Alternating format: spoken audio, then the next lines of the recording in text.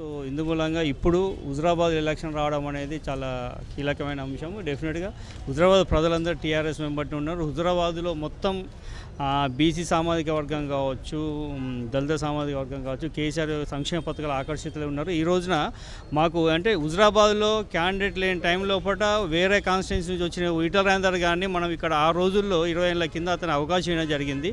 కేసీఆర్ పూర్తి స్వేచ్ఛ ఇచ్చారు కాబట్టి అతను ఈ రోజున అక్కడ వర్క్ చేశాడు. ఇప్పుడు కూడా టీఆర్ఎస్ పార్టీ కార్యకర్త కాపాడుకోవాల్సిన బాధ్యత టీఆర్ఎస్ పార్టీ మీద ఉంటుంది.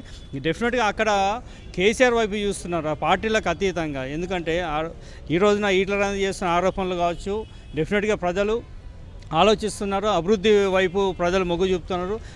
ప్రజలు సంక్షేమ పథకాల వైపు మొగ్గు చూపుతున్నారు. రానున్న రోజుల్లో కేసీఆర్ ద్వారానే బంగారు తెలంగాణ సాధ్యమవుతుంది కాబట్టి తప్పకుండా హుజరాబాద్లో ఈటల రాజేందర్ మేము మీద ఘనమైన మెజార్టీ చూస్తాం. ఈటల రాజేందర్ గారు మేము సంతోషిస్తుంటాం. ఎప్పుడు తను ఇండివిజువల్గా ఒక పార్టీ పెట్టినప్పుడు ఇండివిజువల్గా ఒక పోరాటం చేసినప్పుడు నిజంగా నీకు అన్యాయం జరుగుంటే.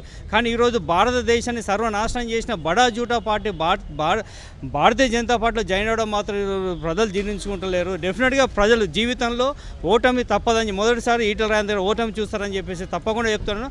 అక్కడ టికెట్ ఎవరికి వచ్చినా డెఫినెట్గా గెలిచేది గులాబీ జెండానే అత్యధిక మెజార్టీతో గెలుపుతామని చాలా స్పష్టంగా చెప్తున్నాం. అంటే ఈటెల్ గారు చెప్తున్నారు కదా అన్న.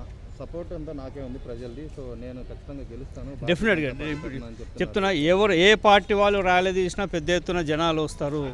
అది సమస్య కాదు. డెఫినెట్గా ఎలక్షన్ రిజల్ట్ తర్వాత ఈ రోజున ఇరవై ఏళ్ళు పనిచేశారు కాబట్టి ఒకటేసారి తను వేరే క్యాండిడేట్ను వేరే పార్టీ గుర్తులను మలుచుకునే ఇబ్బంది ఉంటుంది. ఈ రోజున కార్యకర్తలకు స- ఒక నాయకుడు ఒక కేసీఆర్ గారు ఒక కా కాన్స్టిట్యున్సీకి ఒక వ్యక్తి నిర్ణయించిన తర్వాత డెఫినెట్గా ఆ ప్రజలు ఇటువైపు మళ్ళీ ప్ర- అవకాశం ఉన్నది.